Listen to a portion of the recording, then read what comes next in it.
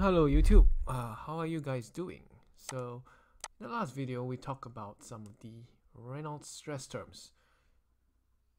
So the Reynolds stress terms are in the x direction. These are the ones where we have the average of the, you know, u velocities, uh, fluctuating part of the u velocity, product of u and v, product u and w, then uh, yeah okay I think yeah.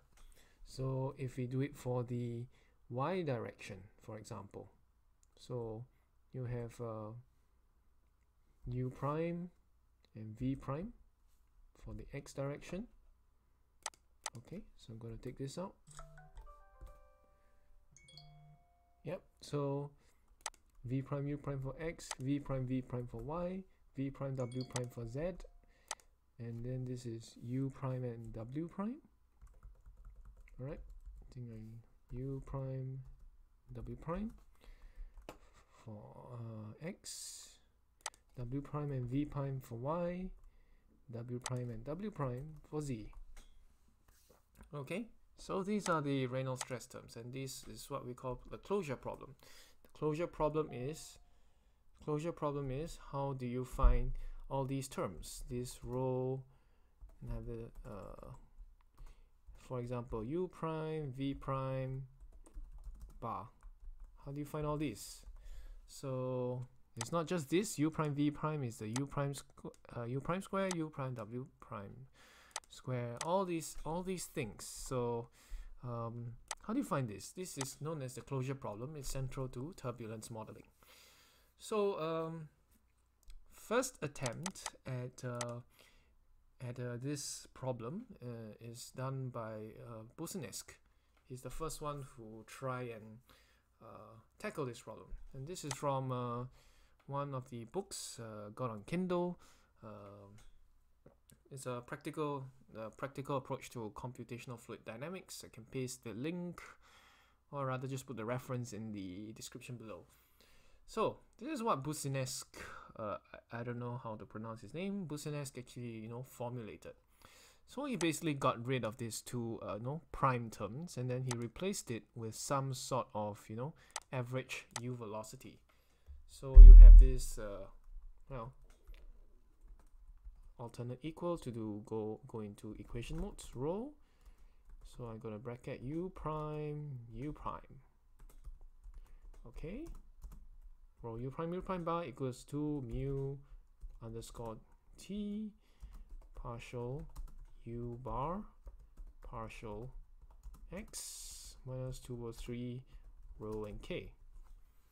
So he postulates that uh, this uh, u prime u prime bar can be expressed in some form of a constant. Okay, so this is a, some kind of turbulent viscosity. And then this was some form of the turbulent uh, I mean average velocity shear. And this uh, rho, of course, is density. And then this k is actually some uh, some form of turbulent kinetic energy or some other constant.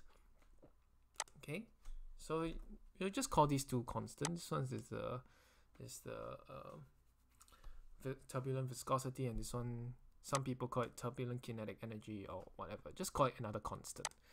All right, so you can see a similar pattern for rho v prime v prime so it's I'm not gonna type it all out though I can oh, I might as well type it out. So rho v prime v prime okay so you can see the pattern emerging very similarly. So it's a v bar and it's the same.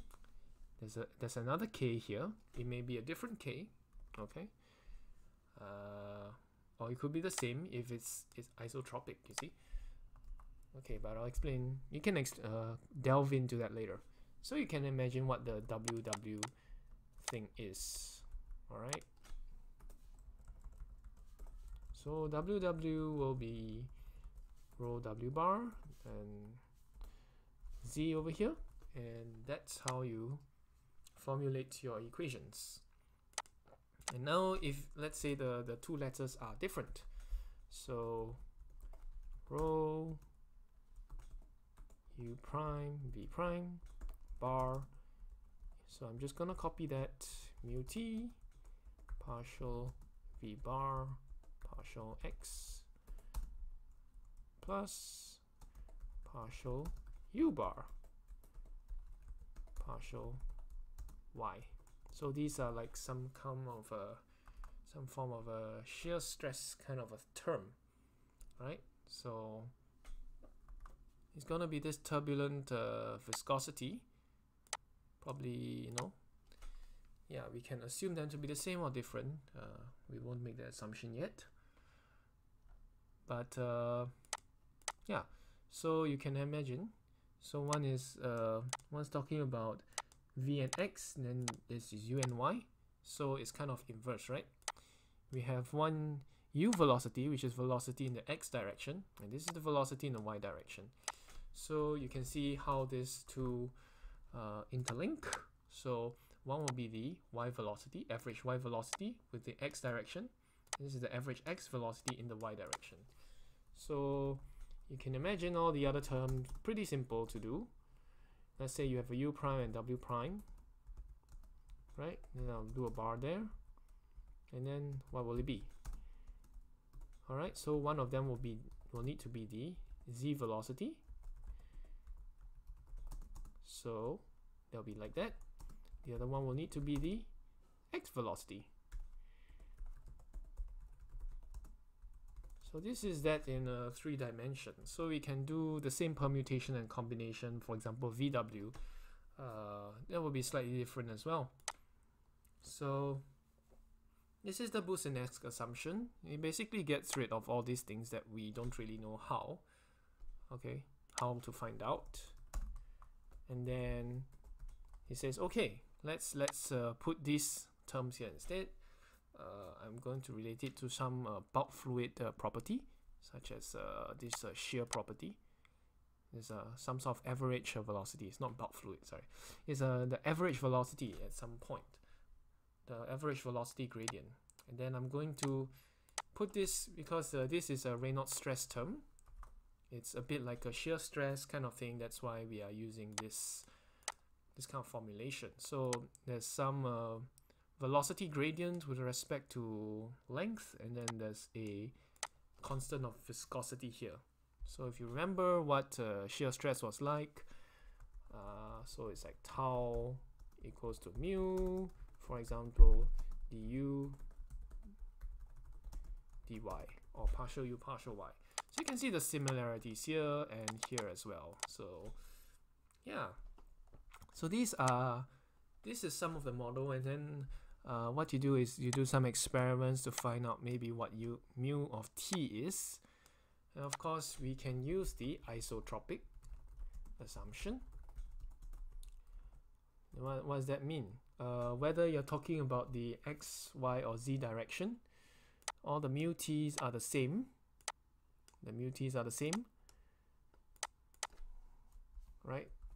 Mu t is the same regardless of direction. That's isotropic. And then k is also the same. Which k am I talking about? It is this k. This k is the same regardless of direction.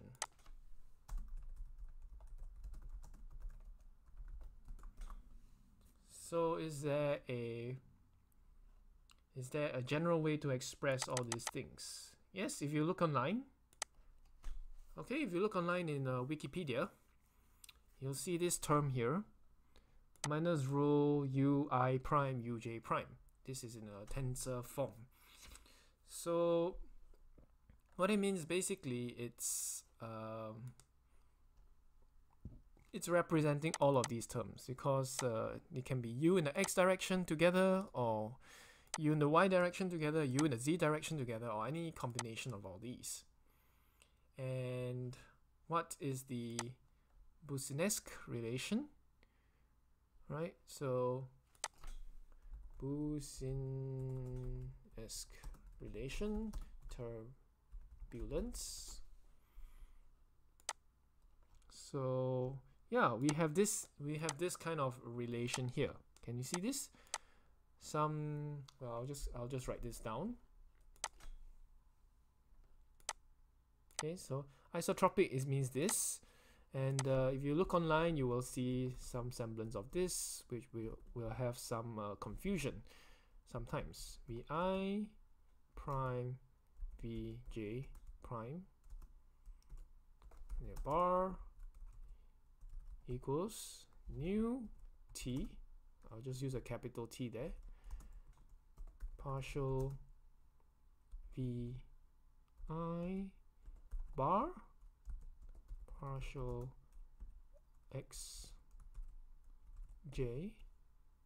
So that's uh, some length coordinate in the J direction. It can be a Z or whatever.